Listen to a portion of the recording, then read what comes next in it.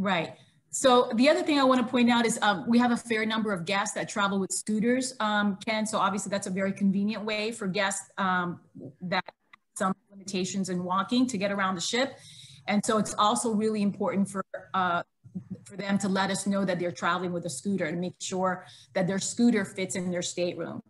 Um, there's a fair number of guests that sometimes don't want to put the scooter in their stateroom and they want to leave it parked outside their uh, their corridor, uh, their hallway, and that is actually a safety violation. And that's not because in the event of an emergency, um, that would cause an impediment to guests being able to, you know, obviously evacuate the ship in a, in a speedy fashion.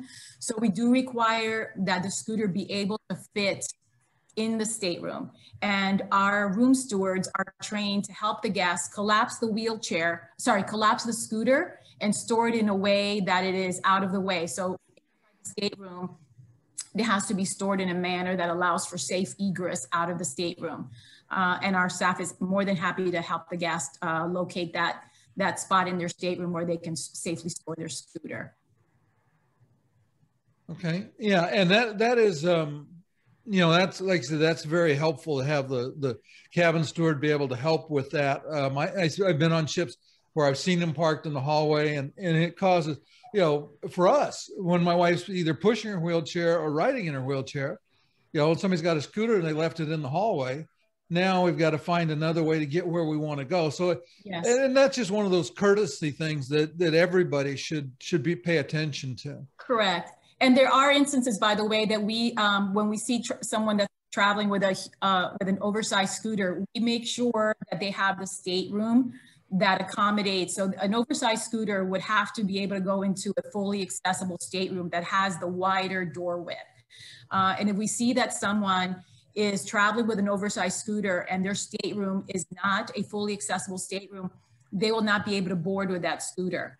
Uh, we have made arrangements uh, in most of our ports to have a scooter rental company at the at embarkation so that someone that's traveling with an oversized scooter that doesn't fit into their stateroom would have to leave their scooter behind or rent a scooter from this company that's on site and they'll take possession of their and store that person's scooter and rent them a scooter that fits into their cabin.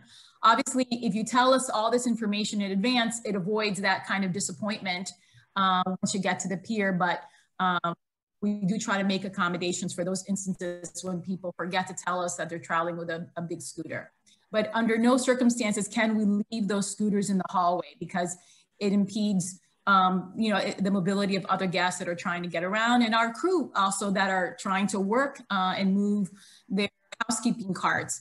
Um, so um, that's, that's what uh, we've had to resort to.